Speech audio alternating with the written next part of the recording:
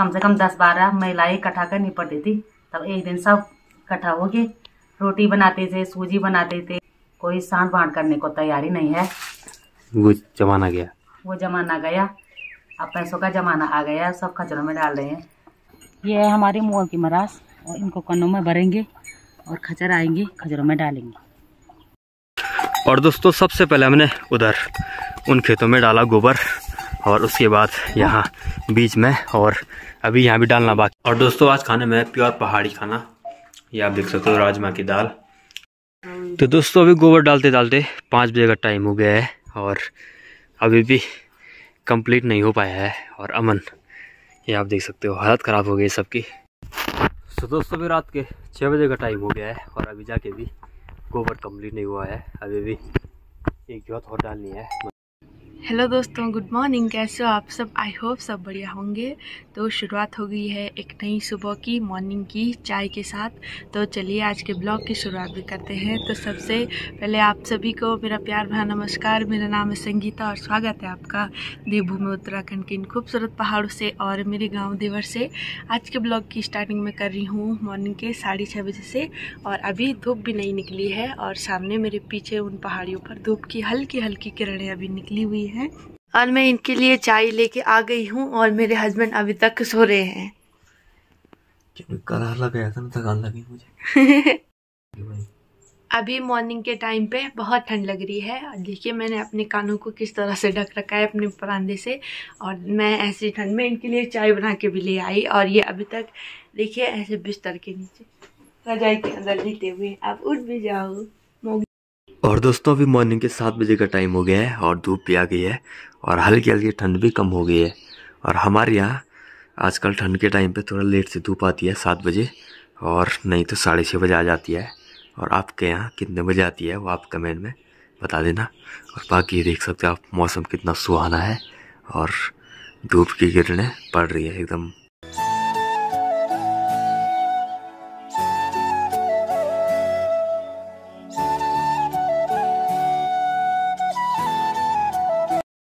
और दगड़ी अभी धूप भी पूरी खिल चुकी है और ठंड भी कम हो चुकी है और मैं भी तैयार हो गया हूँ हाथ मुँह धो के और तैयार इसलिए हो रखा हूँ क्योंकि आज हम गोबर डाल रहे हैं खेतों में और इस बार गोबर खुद से नहीं खचरों की सहायता से डालेंगे और इस पूरी प्रोसेस को कहते हैं हमारी लोकल भाषा में मुबार्थ तो आज हमारी मुबार्थ है और बाकी अभी अंकल जी नहीं आए हैं, खच्चर वाले, बस वो आएँगे और फिर कार्यक्रम स्टार्ट हो जाएगा।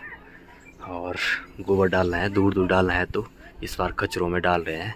बाकी अभी नाश्ता नुश्ता बनाते हैं और बाकी मौसम के हाल आप देख सकते हो, एकदम सुहाने हैं।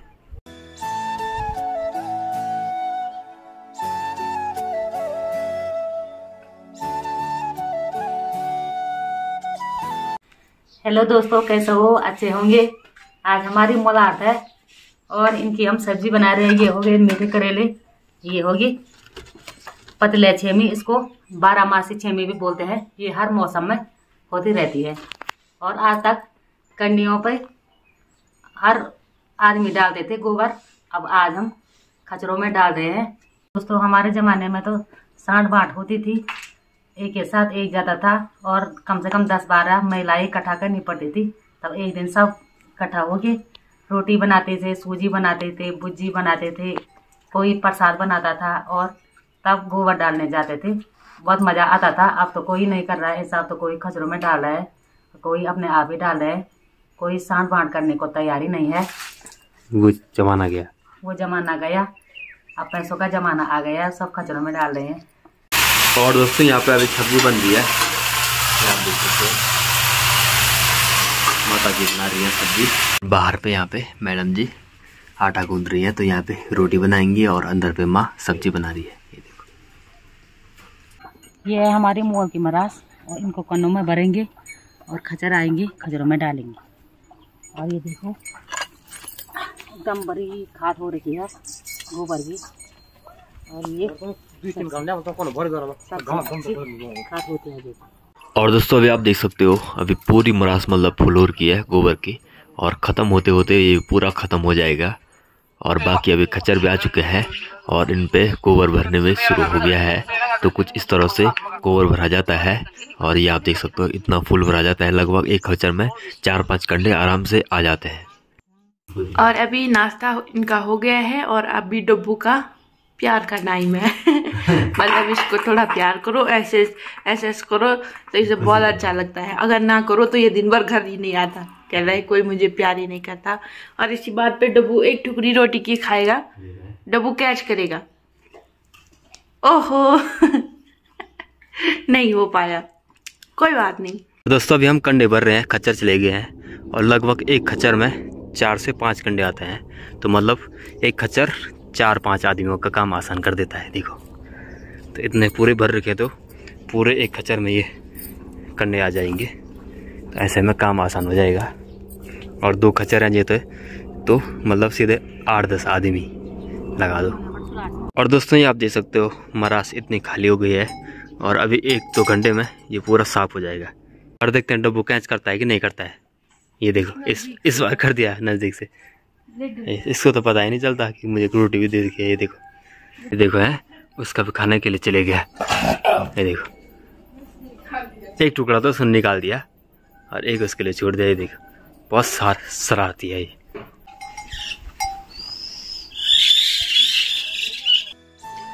तो दोस्तों, अभी दोपहर के बारह बजे का टाइम हो गया है और यहाँ पे अभी थोड़ा रेस्ट करने का टाइम है और खच्चर भी यहाँ पे घास खा रहे हैं, पानी पी रहे हैं और बाकी इनको अभी चाय चुई पिलाते हैं और थोड़ा रेस्ट करने के बाद फिर से काम पे लग जाएँगे क्योंकि इनको भी थकान लग चुकी है सुबह से और हमको भी।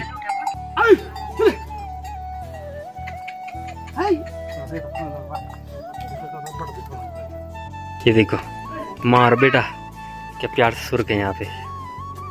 नीचे पे माँ और ऊपर पे ये बेटा सुर का है, और हाथ भी रखा है इसमें। ठीक है, सो जाओ, है दोनों? तो दोस्तों, अभी दोपहर के दो बजे का टाइम हो रहा है, और अभी भी लगे हैं गोबर डालने पे।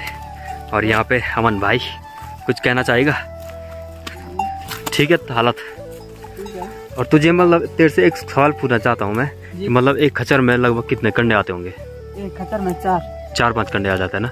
तो मतलब एक खच्चर चार पाँच आदमियों का काम आसान कर देता है देख सकते हो आप। और सुबह से लगे हैं अभी दो बज चुके हैं और अभी भी मतलब काम नहीं हुआ है कंप्लीट।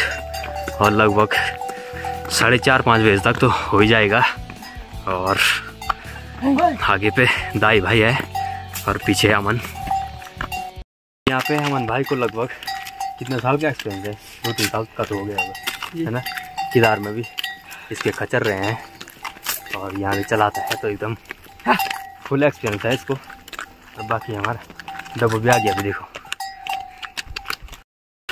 और दोस्तों सबसे पहले हमने उधर उन खेतों में डाला गोबर और उसके बाद यहाँ बीच में और अभी यहाँ भी डालना बाकी है। तो अभी बहुत टाइम लगने वाला है। देखते हैं कितना टाइम लगता है। और टाइम भी दो बजे का हो गया है और हालत भी ख़राब हो गई सुबह से। हाथ आप देख सकते हो। गोबर से पूरे ख़राब।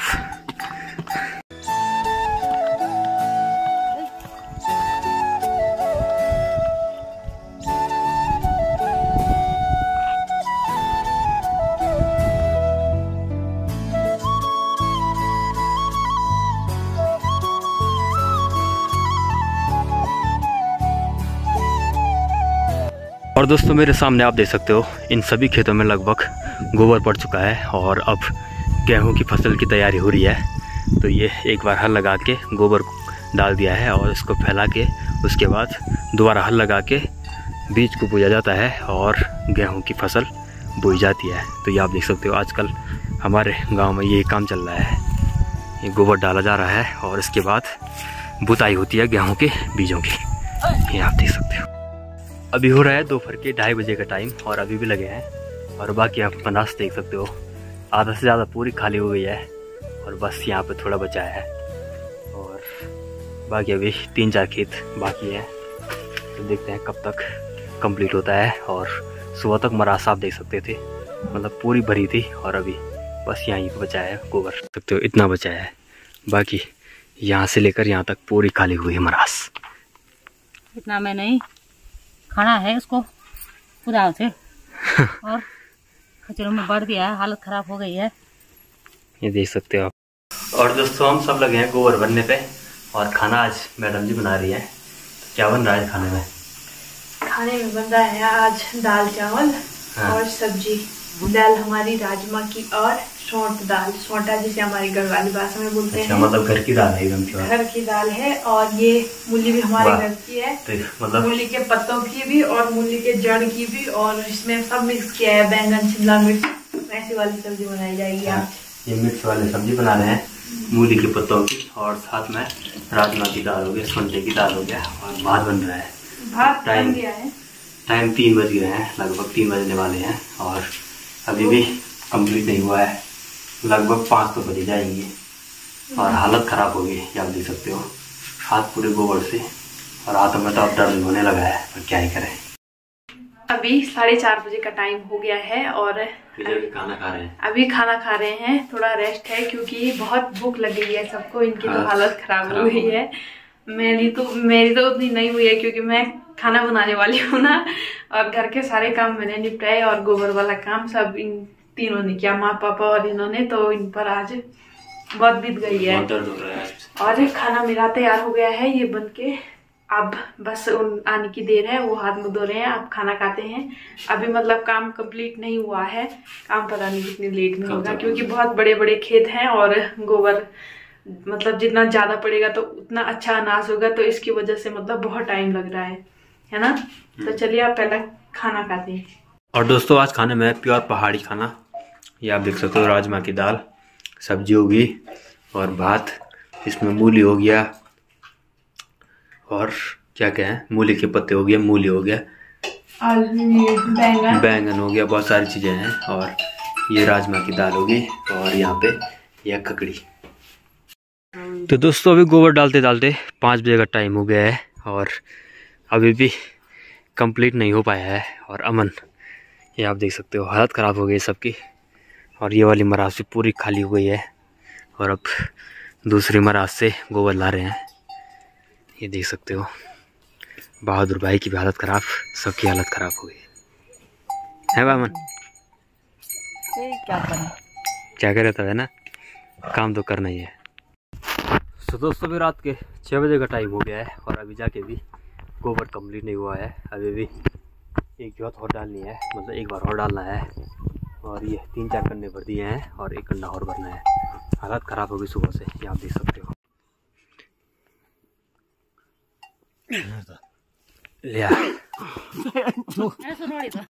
सो दोस्तों भी रात के सात बजे का टाइम हो गया है और अभी जाके गोबर हमने कंप्लीट कर लिया है डाल के और हालत ख़राब हो गया सुबह से, अभी तक लगे थे और अभी हाथ मुँह धो के तैयार हो गए हैं और आज साथ ही में इनकी बहन, दीदी लड़की का बर्थडे है और मेरी जटोजी है तो हमको खास करके इनवाइट कर कर रखा है।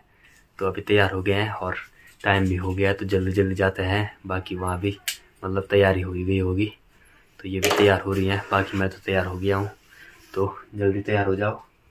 अभी ऊपर भी जाना है ठीक है? तो ठीक है अब सीधे आपको मिलते हैं बर्थडे पार्टी में। हैप्पी बर्थडे कर हैप्पी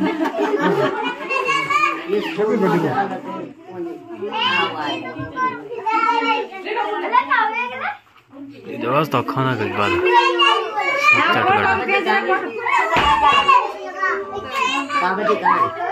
तो सी अभी लगे अच्छा नयन पर हाँ